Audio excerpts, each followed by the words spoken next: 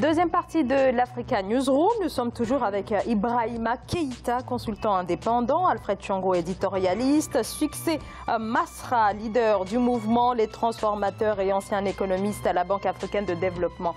Alors, euh, nous parlions de la baisse des investissements directs étrangers en Afrique du Sud et Succès, vous vouliez rajouter quelque chose? Absolument. C'est l'intérêt de partir du cas de l'Afrique du Sud, qui a été rappelé d'ailleurs que c'est la deuxième économie la plus importante du continent africain, qui est classée parmi les cinq en termes de, doing business, donc là où il y a le climat des affaires est le mieux évalué sur le continent africain, si ce pays, comme l'Afrique du Sud, fait face aux défis de création d'emplois, d'attraction des investissements étrangers, voyez le reste du continent africain, l'ensemble des autres pays africains.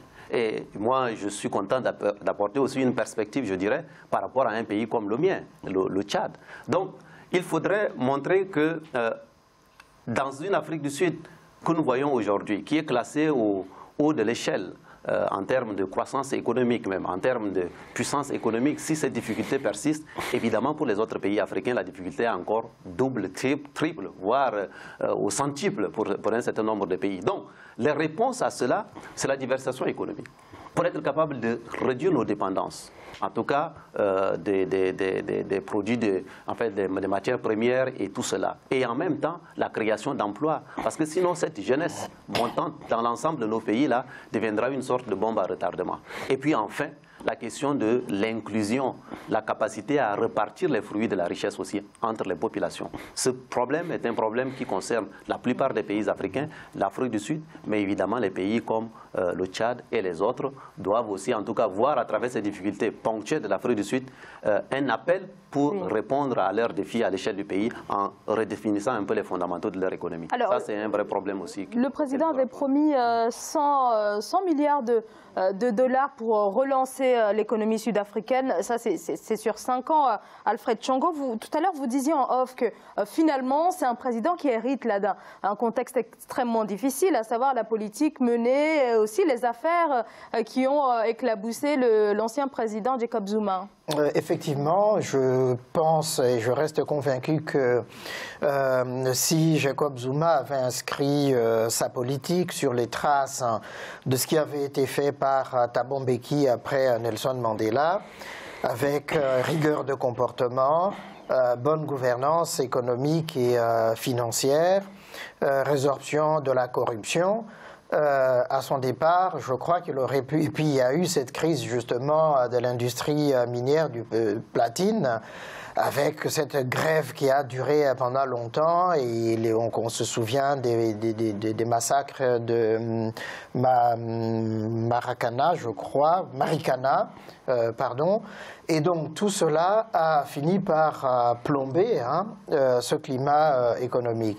Effectivement, il y a eu cette espérance Cyril Ramaphosa, mais il ne peut que faire qu'avec ce qu'il a trouvé dans les caisses de l'État et le contexte économique interne et puis international et essayer effectivement de proposer quelque chose d'autre. Effectivement, ce plan à 100 milliards pour 5 ans, euh, ça peut être une bonne chose si euh, tant est que euh, Cyril Ramaphosa tienne compte de tout ce que nous avons évoqué ici tout autour de cette table.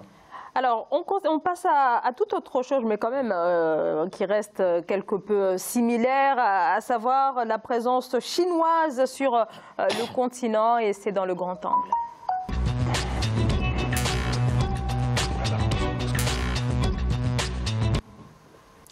La présence chinoise en Afrique, c'est aujourd'hui 10 000 entreprises et 1 million d'expatriés euh, chinois travaillant sur le continent. C'est la promesse aussi de 60 euh, milliards de dollars d'investissement de la Chine vers l'Afrique. Euh, véritable montée en puissance des relations sino-africaines. En effet, en deux décennies, la Chine est devenue le premier partenaire économique de l'Afrique, un partenariat qui participe bien sûr à la croissance économique du continent. Il rapporte aussi beaucoup à la Chine, notamment en matière première, mais une coopération qui est loin d'être gagnant-gagnant, car souffrant d'un certain nombre de, déséquilibres. Corinne Camden. S'inspirer du modèle chinois pour amorcer son développement, une option que certains experts proposent au continent africain. La coopération Chine-Afrique pourrait contribuer à combler le retard en matière d'infrastructures. Il est indiqué que les besoins de l'Afrique en matière d'infrastructures sont estimés à 93 milliards de dollars par an. Cependant, actuellement, le continent ne parvient à mobiliser qu'environ 45 milliards de dollars par an. Le déficit à combler est donc de 48 milliards de dollars. Nous savons que les économies nationales africaines tentent de s'industrialiser et tentent de moderniser leur secteur agricole.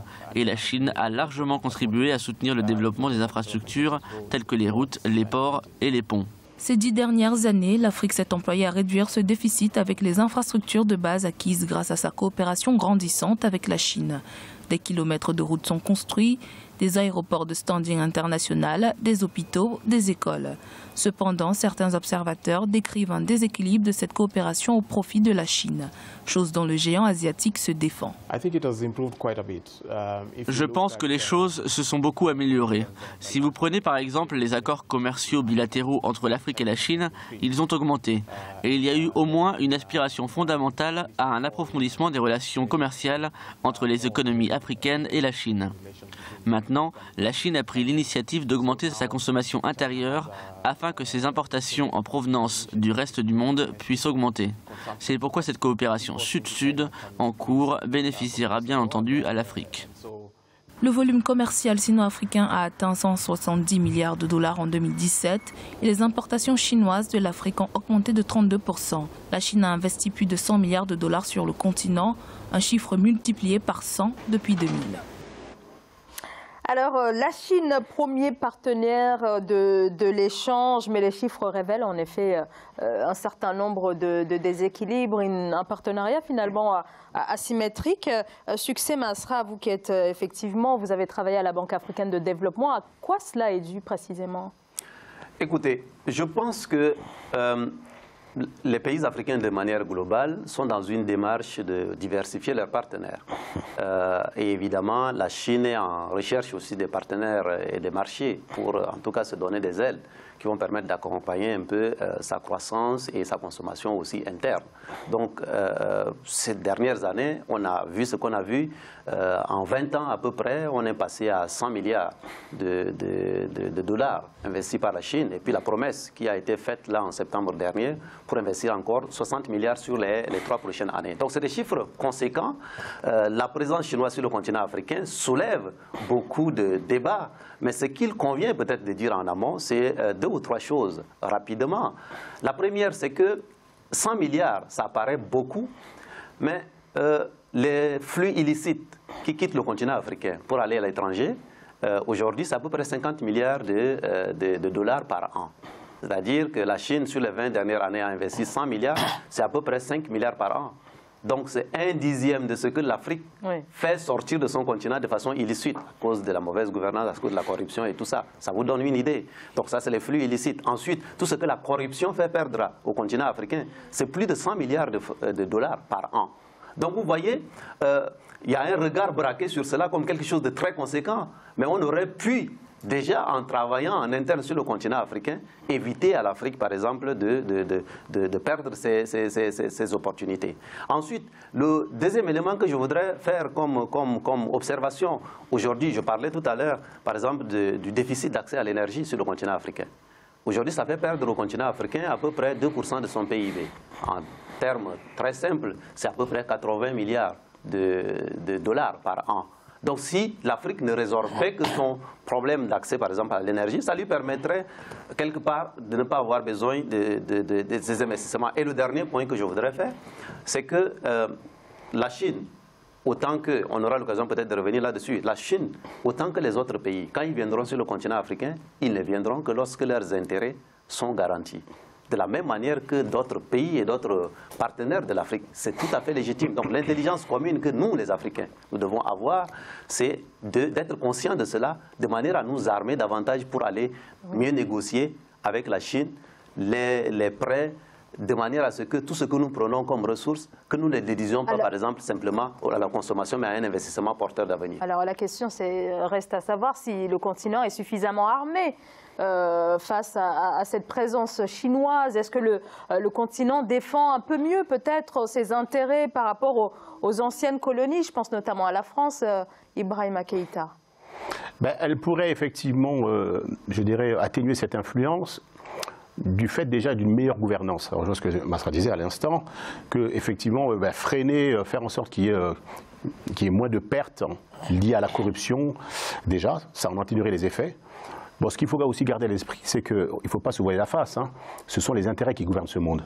Aujourd'hui, après, la question est de savoir si euh, euh, nous avons une relation gagnant-gagnant avec la Chine qui nous est plus profitable que la relation que nous entretenons avec nos anciennes, donc nous en tant qu'ancienne colonie, avec les pays occidentaux, notamment la France. Euh, ça, aujourd'hui, on voit très bien qu'ils ont investi depuis plusieurs années, ça a été dit, 190 milliards pour être précis, 60 milliards, mais il ne faut pas perdre de vue non plus que ces investissements-là, s'ils les font, il faut que ça se fasse de telle sorte que ça puisse servir l'économie locale et faire en sorte que la main-d'œuvre ne soit pas totalement étrangère. C'est-à-dire que quand il y a des, infrastructures, c'est-à-dire quand les ponts sont construits chez nous, les autoroutes sont construites chez, nous, que cette main-d'œuvre-là soit locale. Je pense que ça, puisse profiter effectivement à la population locale. Et puis il ne faut pas non plus euh, euh, perdre de vue le fait que euh, lorsque la Chine entame le fait que, comme nous le savons tous aujourd'hui, l'Afrique faisant l'objet de toutes sortes de convoitises, la Chine a tendance à délocaliser aussi ses industries vers l'Afrique. c'est ça aussi qu'il ne faut pas perdre de vue. Donc, quelque part, le rapport gagnant-gagnant, je n'y crois pas trop, mais, il n'y est pas encore, mais je pense que... Mais est-ce euh, que l'Afrique se donne euh, les moyens pour ça? Alors, vous parlez justement de la main-d'œuvre euh, locale. on sait que euh, en tout cas, le partenariat est quand même loin d'être gagnant-gagnant dans la mesure où, où seuls 47% de l'approvisionnement des entreprises, par exemple chinoises, proviennent de sociétés africaines locales. Et, l'autre chiffre aussi, c'est que seulement 44% des gestionnaires locaux des entreprises chinoises sont africains. Donc seulement 44%. voilà, on est encore loin de ce partenariat gagnant-gagnant, comme on dit Alfred Chango. Il y a, a naturellement un déséquilibre. Euh, le slogan gagnant-gagnant euh, ne deviendra réalité que lorsque l'Afrique euh, pourra se tenir devant la Chine avec les mêmes moyens, les mêmes possibilités. Or, l'Afrique présente aux yeux de la Chine simplement des potentialités. Donc c'est-à-dire que la Chine ne voit pas l'Afrique comme un marché, mais plutôt... Bah, bien sûr, c'est ça justement. C'est-à-dire que pour la Chine, l'Afrique, c'est quoi? Elle est la pourvoyeuse des matières premières euh, stratégiques euh, ou autres dont la Chine a besoin pour soutenir euh, son économie, son développement, sa consommation interne. On a dit que la Chine, la Chine importe pour 47% justement de ses besoins en Afrique, mais qu'est-ce que l'Afrique exporte vers la Chine? Le déséquilibre. Est là. Et d'ailleurs même, si on va encore plus loin, on dit la Chine a investi 100 milliards, c'est vrai, a promis depuis euh, le sommet euh, euh, Chine-Afrique de septembre de 60 milliards, etc. Mais quand on prend le volume de transfert d'argent des Africains vers l'Afrique, aujourd'hui ça fait plus de 300 milliards de, de dollars, ça va au-delà même de l'aide au développement, par exemple. Sauf que ça n'est pas investi dans l'économie puisque nous envoyons l'argent à nos familles pour les soutenir, etc. Donc ça veut dire que si l'Afrique fonctionnait autrement, si l'Afrique était gouvernée autrement, euh, les choses se passeraient différemment. Et qu'au fond, la Chine, mais là, Keita a eu raison de dire, euh, les relations internationales sont fondées sur le principe des intérêts de chacun. La Chine ne vient en Afrique que parce qu'elle a intérêt d'être en Afrique non seulement par rapport à ses propres intérêts sur le plan interne, mais sur le plan international, diplomatique, parce que l'appui de l'Afrique euh, sur la politique internationale de la Chine, cet appui-là est important. Donc c'est aux Africains de prendre conscience que nous ne pouvons pas continuer à être une réserve de matières premières pour les autres. Il faut que nous arrivions à un certain moment à pouvoir transformer sur place puisque de toute façon, la, question du transfert des euh, technologies, euh, des savoirs, ne se fait pas totalement. Il nous revient, nous, Africains, de former et de toujours former encore, puisque c'est un déficit. Enfin, l'Afrique est le continent le plus jeune au, monde aujourd'hui, mais on n'a pas assez de personnes qualifiées, formées pour justement prendre en main ce défi technologique, ce défi euh, scientifique. Effectivement, sur ce point, l'Afrique a du mal à tirer son épingle du jeu dans ce euh, partenariat avec, euh, avec la Chine, Oui. succès Masra. Oui, alors peut-être pour compléter, mais un peu essayer de titiller un peu Alfred, c'est que même les, les- les Africains déjà formés qui sont là dans nos pays ne sont pas bien employés, Absolument. bien utilisés par le continent. Donc Absolument. un leadership, en tout cas plus averti là-dessus, peut permettre de le faire. Ensuite, si nous regardons en profondeur euh, les 100 milliards investis peut-être par la Chine sur les 20 dernières années, vous voyez que vous prenez cinq pays, euh, l'Angola, l'Éthiopie, le Kenya, euh, euh, la RDC et peut-être le Cameroun, ça fait déjà plus de 50% de ces ressources. Donc même la répartition à l'échelle du continent africain et les autres se contentent en tout cas du, euh, du peanut, de, de- de l'insignifiant quelque part. Bien sûr. Voilà, donc il faut aussi être capable d'aller voir ça. Ensuite, je pense que l'une des leçons que la Chine donne aussi au continent africain et qui doit interroger, je dirais, peut-être toutes les nouvelles générations aussi qui nous regardent à travers le continent, c'est de se demander comment un pays euh, qui a une population à peu près comparable à la nôtre, qui il y a 30 ans était dans une situation pire que la nôtre, se retrouve aujourd'hui à ce niveau-là et à devoir aller réunir l'ensemble de nos chefs d'État et de discuter avec eux comme ça dans une situation de, complètement euh, différente il y, a, il y a 30 ans. Certains avaient pris le pouvoir il y a 30 ans dans oui. nos différents pays avec la Chine qui était euh, pire que leur pays. 30 ans plus tard, ils se retrouvent en train de venir maintenant peut-être euh, demander des choses à la Chine d'une certaine façon. Donc ça, ça doit nous interroger que nous avons sur le sol africain des ressources qui peuvent nous permettre aussi en installant un minimum de leadership, de serviteur à l'échelle de nos pays, de faire en sorte que les choses changent. Et de- à l'image de la Chine, mais aussi on peut ajouter la Corée du Sud, Absolument. qui aujourd'hui est arrivée aujourd'hui à un niveau de développement, non pas parce qu'ils ont trop de ressources naturelles, Mais ils ont investi sur ce que nous les Tchadiens nous connaissons comme le ilm, c'est-à-dire le brain, le cerveau, L'intelligence. notamment à Singapour, Voilà, et dans aucune école euh, au monde, vous ne trouverez plus de Chinois. Enfin, ils sont partout. Tout et donc, fait. ils ont fait ce pari. Donc, un des défis aussi, si les Africains veulent se faire respecter pour l'avenir, sur nos capacités à négocier mieux les dettes, à mieux ramener, tirer le drap vers notre côté, ça commence par des choses simples. Et ces choses simples, par exemple, vous voyez, euh, on dit, la- la- notre siège de l'Union africaine a été Eh oui. construit par les Les Chinois. Chinois, exactement. Et, et l'ironie de l'histoire, vous montez dans des ascenseurs qui, euh, qui, euh, qui, qui vous parlent en chinois. Les notices dans nos différents pays, faites les tours dans les différents pays, vous allez voir que Oui. euh, euh, les notices sont en chinois, euh, les ouvriers du bas de l'échelle au sommet sont des, des- des Chinois. Est-ce que Alors effectivement, choses, par exemple, les Alfred a évoqué tout à l'heure euh, euh, un partenariat qui va au-delà du partenariat économique, mais aussi, euh, il s'agit là aussi d'une diplomatie d'influence. On complètement. continue Absolument, de- absolument. Donc, c'est à d'en nous d'en être conscients et que les Africains, je finis là-dessus, ma chute, c'est pour dire que la Russie vienne en Afrique, que la Chine vienne en Afrique, que la France ou les États-Unis viennent en Afrique. Il faut saluer cela. Mais chacun des États qui viendra pour travailler avec le continent africain ne viendra travailler que lorsqu'ils sentent qu'il y a leurs intérêts. Il ne faut pas être dans un, une- un discours béat qui consisterait à dire la Chine serait mieux que la France, la France serait mieux que la, la Chine Il faudrait la que l'Afrique change peut-être de- L'Afrique de doit se donner les moyens de Alors- faire en sorte de créer les Mais- conditions On continue d'en parler après cette euh, courte pause. Ah, À ok. Ouais, ouais, ouais. c'est quelque chose à dire. Eh, mais tu, as, tu as ouvert une